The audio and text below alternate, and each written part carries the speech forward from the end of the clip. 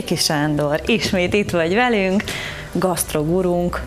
Említetted a múlt héten, hogy beszélünk a csokoládéról, és én már alig vártam, bár nem vagyok édes szájú, de azért a csokoládé történet engem nagyon érdekel. Igen, a múltkor azt mondtam, hogy bezzeg az inkák, mert ugye de hát az inkáknak persze beugratás volt, mert az inkáknak sok köze ez nincsen. A, pedig ugye valahol ott Dél-Amerikába kell keresgélnünk, mégpedig az Amazonas medencé, ott nőtt egy szép sudár fa, 5-6-7 méter magasra is megnőtt. Az olmékok volt egy ilyen, ilyen társaság, ott akik, akik ilyen nagy, iszonyatos nagy méretű köveket faragtak, ilyen nagy fejeket talán láttál már, uh-huh. hogy ilyen nagy fej, hát meg még ennél nagyobb is. Most ezek az emberek ott a konyha kertjeikben többek között a zöldségek, vetemények és egyebek mellett még ott a, a a kakaóbabot termő fát is még ott Szóval mi, ez mi, mi, mi a gyümölcsfát? Vagy egy fa?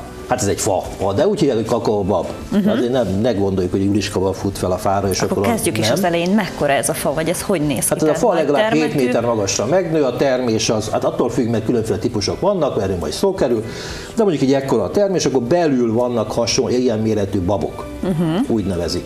De ez majd mindjárt szó kerül le. Most olmékok, olmékok erre rájöttek, az ő közvetítésükkel ismerték meg a maják, ugye ott a Yucatán félsziget, meg még kicsi Közép-Amerikába, majd pedig ők vitték el az asztékoknak. Akkor ezért gondoljuk, hogy a majáktól, vagy az inkáktól? Ö, vagy... Nem, az inkáktól nem. Ők nem. Olmékok, maják, és még északabbra mentünk, ugye Mexikóváros környéke, az asztékok. Uh-huh. A, azon a környéken nem, nem termett a, a kakaó, vagy nem terem, hiszen az, az egyenlítőtől 20-20 fokra északra, délre, nagyjából abban az övben, körbe a világon, ott termesztenek kakaót. A maják azok tulajdonképpen exportálták. Van egy ilyen nyelv, amit a karibi vidéken, meg térségben is elterjedt, ez úgyhogy nahuát nyelv, és ugye Sokvatájnak nevezték a maják, még talán ma is így nevezik, hiszen élnek még ott továbbra is Yucatán félszigeten, és Kahkawatájnak nevezték aztékul az aztékok. Ami mit jelent? Hát ami azt jelenti, hogy keserű víz.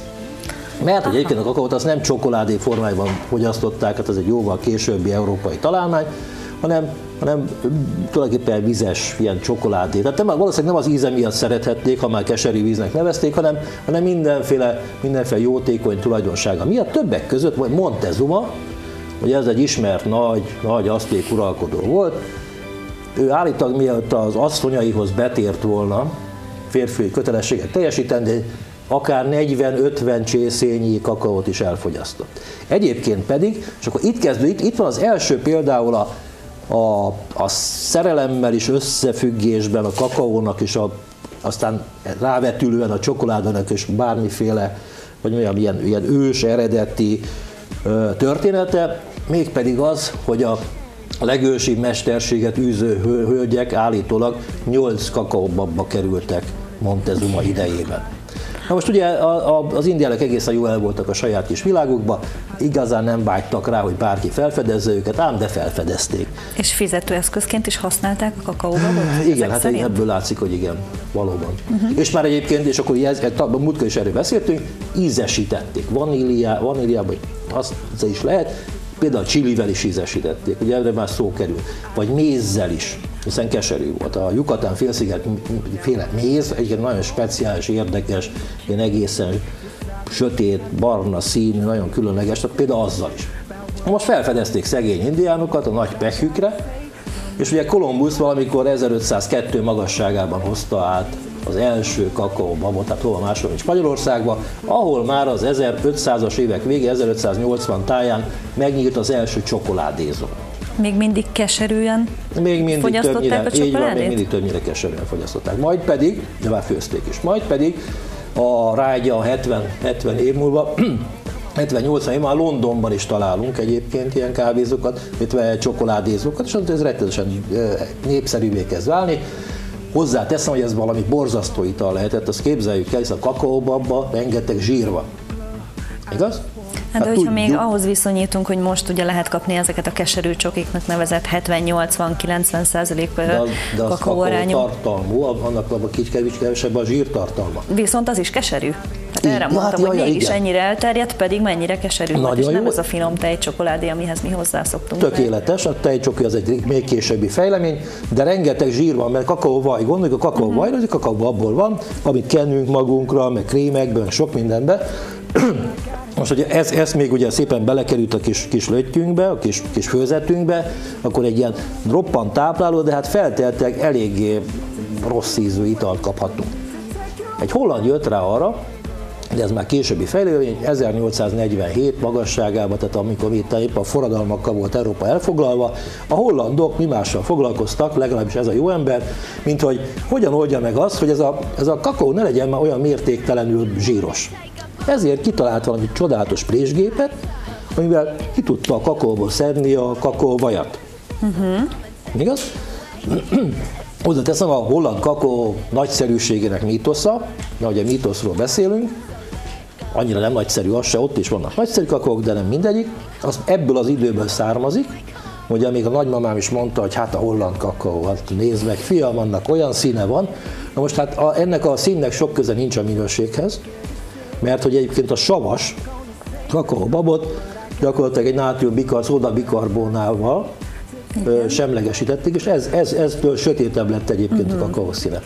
Most ugyanebben az időben mindenki elkezdett vele foglalkozni, ott a kakaó gépet találtak fel, Lind, ugye? Lind, megvan a csokoládé neve, ez nem a reklámja, de ő találta fel egy, ugye, egy ponsírozó gépet. Nem csinálta semmi más, csak így dagasztott egyfolytában és mérték, és akár több napon keresztül, amitől ami egészen varázslatos, jó ízű csokoládék alakultak ki, és aztán persze kitalálták a táblás csokoládét, a csokoládét ugyanebben az időben, hiszen az is, azt is fel kellett találni. Bombonokat, hogyha jól emlékszem, az is Azokat is mindent fel kellett, mindent fel kellett találni, a tejcsokit is fel kellett találni, és hogy egyébként az egy dolog persze, hogy, a, hogy kiszedték a vajat, de aztán utána vissza is rakták a csokoládéba. Uh-huh. De akkor már, akkor már csokoládó, csokoládé készítők határozták meg, hogy, hogy mennyi legyen a, a kakaóvaj abban a csokoládéban. Aztán miféle ízesítés legyen. Raknak-e vele tejport, vagy csak tejport rakjanak bele, és akkor a csokoládé elmarad.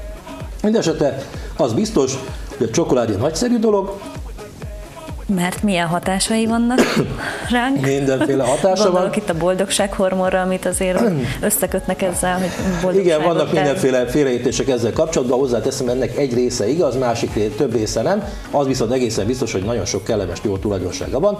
Többek között az antioxidáns tulajdonságait lehetne kiemelni, ugye mindenki a vörösborra esküszik, én magam is nagyon szeretem, ott abban van egy resveratrol nevezetű anyag, ám de a csokoládénél jóval, jóval sokkal többet és nagyobb a, a az, az antioxidát, vagy nagyobb a, a szabadgyők megkötő kapacitása egyébként, mint mondjuk egy, egy vörösborna. És persze, ha már itt vagyunk a Valentin nap környékén, Bálint nap magyarul, akkor az afrodiziákum jellegét is persze meg kéne említeni, mert nagyon sokan hisznek, meg egyébként ebben a fajta boldogság, boldogságot előidézni képes molekulákkal teli, eh, hogy mondjam, csodálatosságban, ami egyébként csokolád is, vagy hoztam egyébként csokit, fogunk is kóstolni.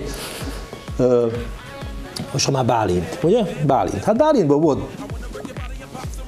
Ugye jó pár évszázadon keresztül úgy teremtek a szentek, nagy számban. Már csak azért is, mert úgy üldözték őket, így aztán szegények önfeláldozások révén hamarosan szent és avatottak. Bálintból is, vagy Valentinból is akadt egyébként több is.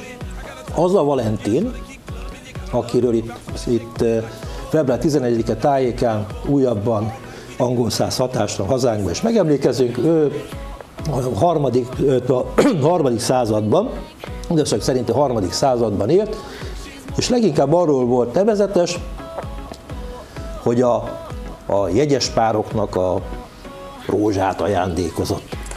Aha, Ez egy ilyen szép lélek, szép lélek volt. szokás. Most Bálint egyébként a szerelmeseknek, de a gyomorfájásoknak, a, a mindenféle ilyen kis lelki betegeknek, tehát ez egy, ez egy komoly tünet együttes, tehát gyomorfájás, lelki betegség, szerelmeseknek és sok mindenki másnak a védőszentje.